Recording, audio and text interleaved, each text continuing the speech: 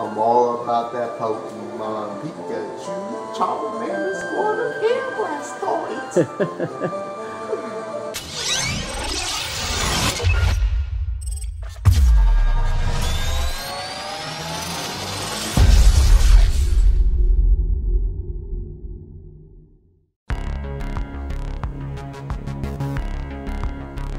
So this is what I'm going to be using to make my Raspberry Pi slash RetroPie emulator station. Um, of course I have the Raspberry Pi itself. Very cool little microcomputer. I've got a USB N64 style controller, which uh, N64 is a big deal to me. So that's kind of a personal preference thing. Got a 32 gig class 10 micro SD card. I've got some little teeny tiny aluminum heat sinks to go on the Pi uh, so we can overclock without much worry. I just had this uh, lying around, micro USB 5 volt USB adapter. Um, that's what the Pi likes for power. And I also had this lying around. It's just a little Netgear um, wireless adapter so that the Pi doesn't have to be plugged in. I also printed this cool uh, this cool case off of Thingiverse. It looks like a uh, like an original NES. So I think all in all, this build is going to come out pretty neat. First thing you're going to need to do is get Win32 Disk Imager and you're also going to need to download the image of RetroPie from Pet Rock Blog. I just got the latest one there as of the time of this recording. Uh, when you do the actual install, make sure that it's pointing to the right hard drive if you have multiple hard drives make sure it's pointing to your SD card and uh, you just gotta let it do its thing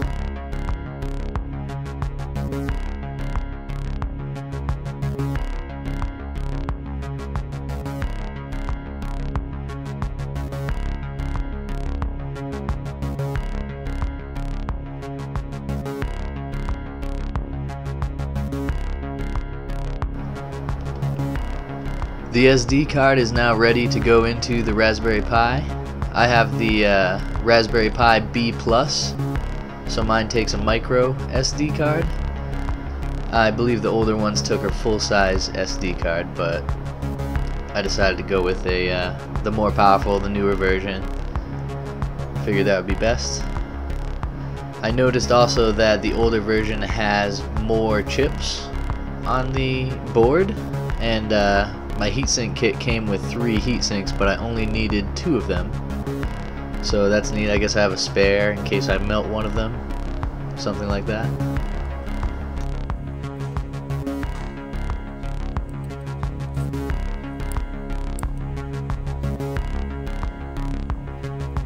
Once your heat sinks are on and your SD card is installed, you can boot the Pi up, let it boot completely to emulation station, and then press F4 to exit it.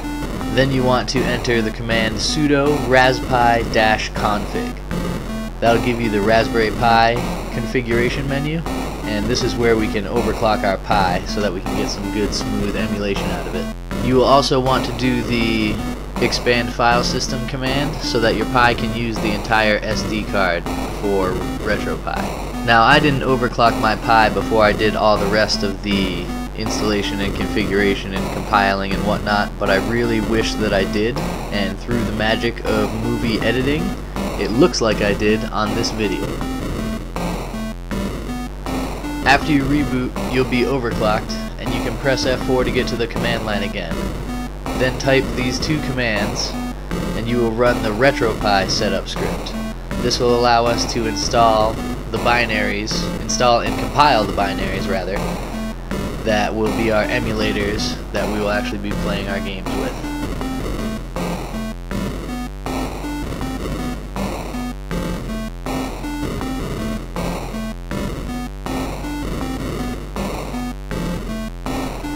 What I ended up doing was using the update RetroPie script option and then I did the install from source or compile binaries and uh, it says it takes 16 to 20 hours. They aren't joking.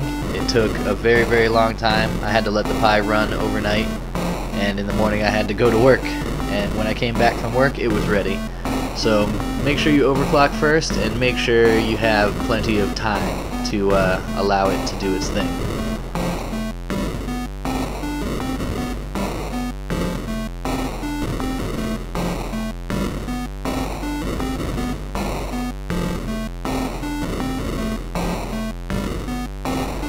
The RetroPie script has tons of emulators in there. MAME actually emulates tons and tons of different machines. Uh, I actually cut it down a whole lot here and just did like uh, the popular consoles past like 1985 or maybe a little bit earlier than that with the Atari 2600 but this is where you get to kind of customize your install and pick what you want and get rid of what you don't want. So I really enjoyed this part actually picking what gets installed onto my uh, onto my new my new toy here.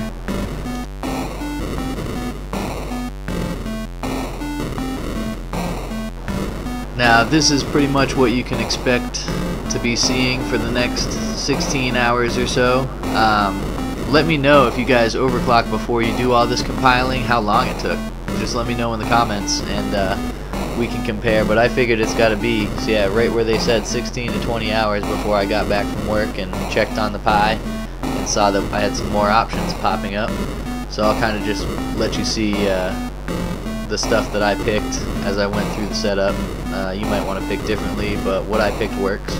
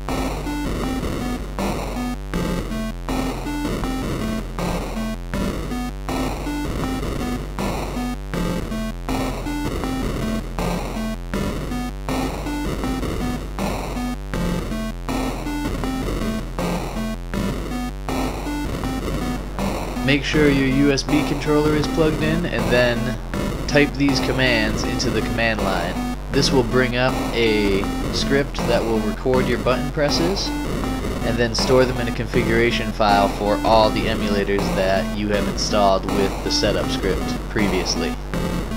I forgot to film this part, so I apologize for the lack of videography. To get ROMs onto your Raspberry Pi, you can either drag and drop uh, right from My Computer Network Raspberry Pi on your main computer. You can also plug a flash drive into the Pi. The Pi will put folders on it for all your different ROMs, and you can load it up and plug it back into the Pi, and the Pi will copy all the files over to where they need to be.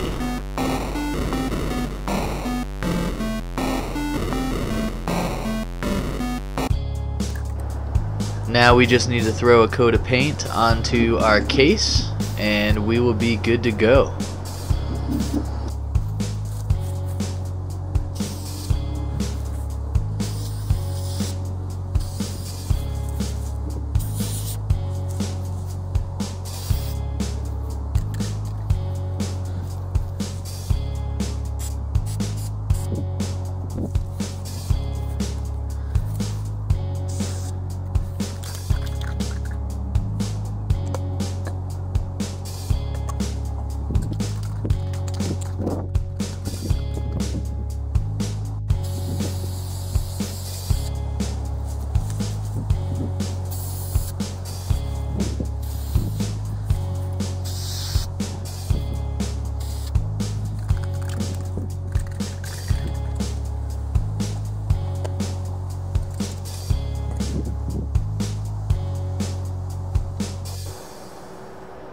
Alright, so here we go.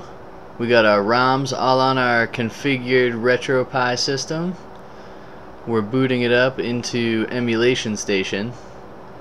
I ended up getting a different controller than the N64 one. Uh, the N64 joystick turns out is not uh, compatible. I could get everything but the actual joystick working on RetroPie. So I ended up buying a Logitech F310. It's a wired controller. So there's the the retro controller that wasn't compatible. There's the new one. It has more buttons, so I'm happy with it. Um, so let's have a look at what we got for emulators and let's give this thing a test run.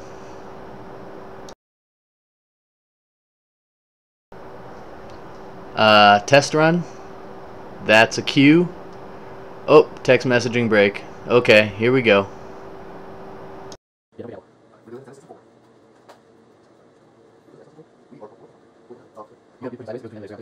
Oh, okay, so I'm gonna that.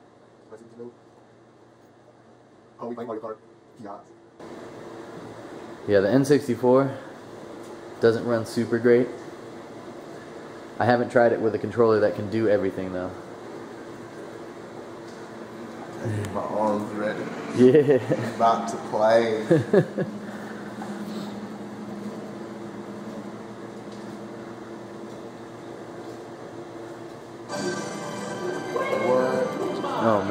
Push start. See if it gets better.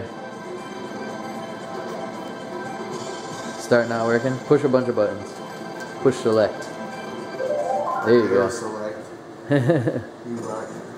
Oh no. I want Mario, Luigi, the princess, the warp dude. No, this is single player. Oh.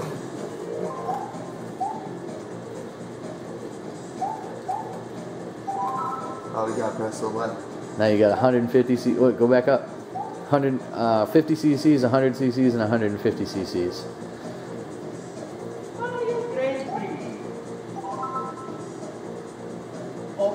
I got a feeling this isn't gonna work. Oh, I want the princess. I think she's. No, I think that was Toad. I think the princess was there. This is like, guess who? Press A again. Yeah.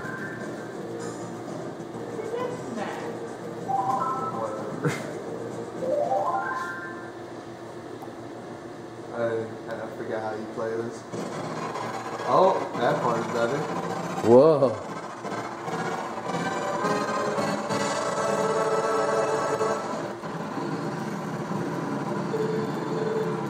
It's so slow. Hey, dude, hey. Other other button. I don't know. Triggers, triggers. Trigger makes it hot. What are you doing, girl? You're going. Try the D-pad.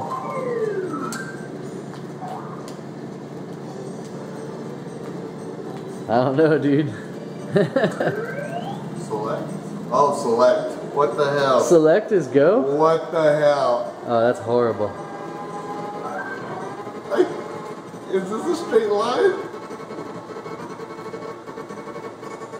Okay, gotta use D-pad with select. Okay.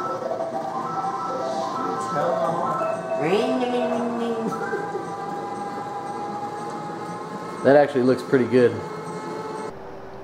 So it turns out that uh, my quick and dirty configuration of the Logitech controller wasn't exactly accurate, but the N64 emulator actually ran pretty good with Mario Kart. We also tested it with Super Mario 64, or I think it's just Mario 64, but that was actually somewhat playable as well. All of the other emulators seem to work much better.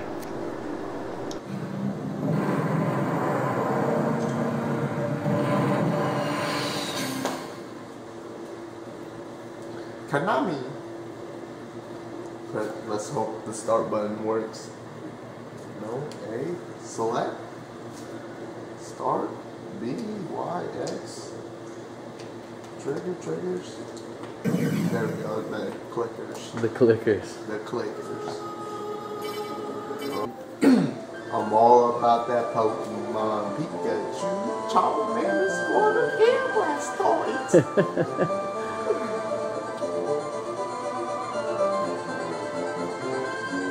Pushing buttons, yo. Oh, start that. Select. Fuck that. True.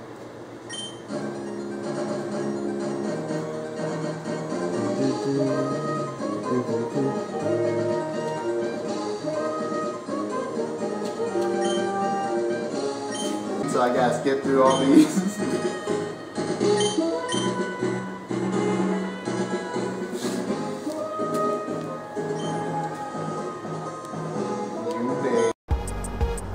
So I'm really happy with the way that my RetroPie turned out. Um, N64 is the only emulator that really has any bugs, but I think those will get worked out. Uh, the Raspberry Pi B Plus really does have the horsepower to handle all of this.